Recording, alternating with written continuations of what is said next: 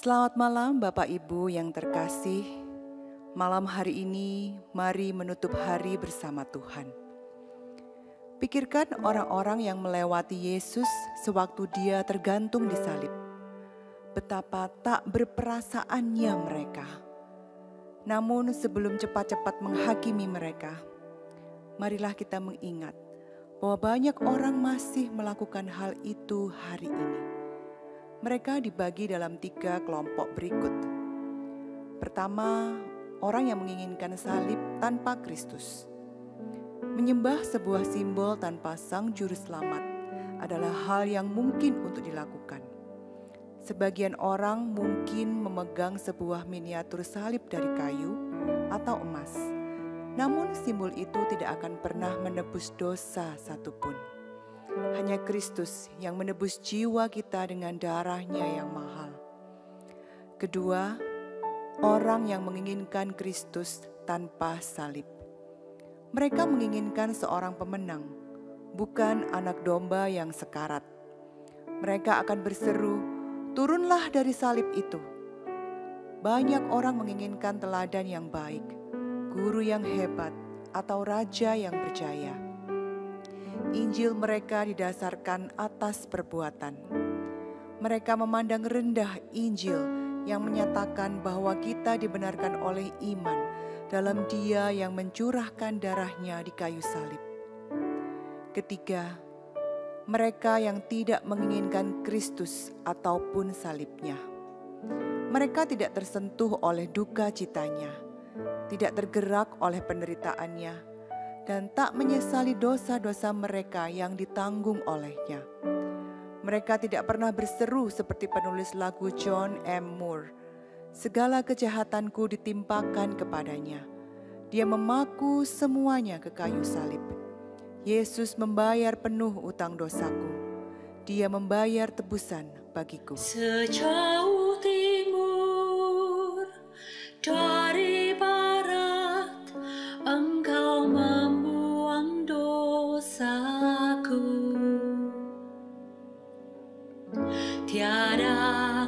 Halloween.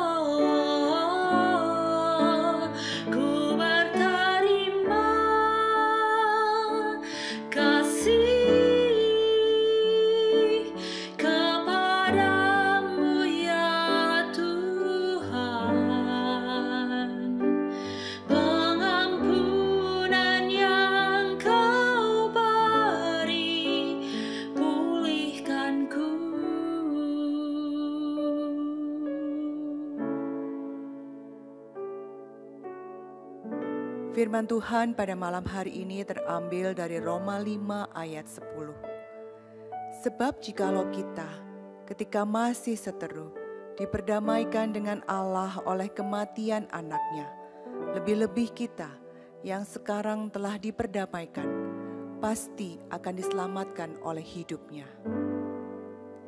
Mari kita berdoa. Ya Bapa Surgawi yang Maha Kuasa, di penghujung hari ini, kami bersyukur atas hadirat-Mu yang selalu menyertai kami. Kami bersyukur ya Tuhan, karena dalam kasih karunia-Mu yang tak terhingga, Engkau telah mendamaikan kami dengan dirimu melalui darah Yesus Kristus, anak-Mu yang terkasih. Melalui pengorbanannya, Engkau telah mengubah kami dari musuh-Mu menjadi anak-anak-Mu yang dikasihi. Kami bersuka cita karena keselamatan yang kami miliki dalam Kristus, yang memberi kami harapan yang pasti dan hidup yang kekal. Di malam ini kami menyerahkan hidup kami sepenuhnya kepadamu.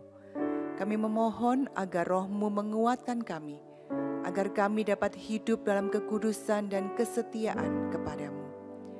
Jadikanlah tidur kami malam ini sebagai waktu penyegaran dan pemulihan sehingga kami dapat bangun dengan semangat baru untuk memuliakan-Mu dalam hidup kami. Kami juga memohon perlindungan-Mu bagi kami dan keluarga kami di malam ini. Lindungilah kami dari segala bahaya dan ancaman, serta berikanlah kami rasa aman dalam perlindungan-Mu yang setia. Dalam nama Tuhan Yesus kami berdoa. Amin.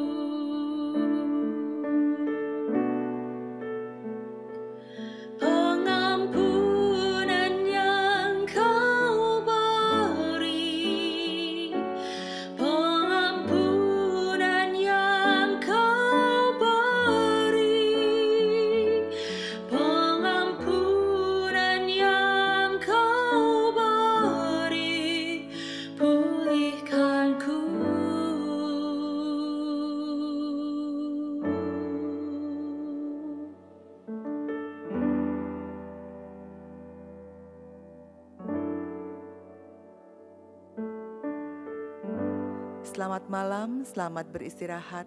Tuhan Yesus memberkati.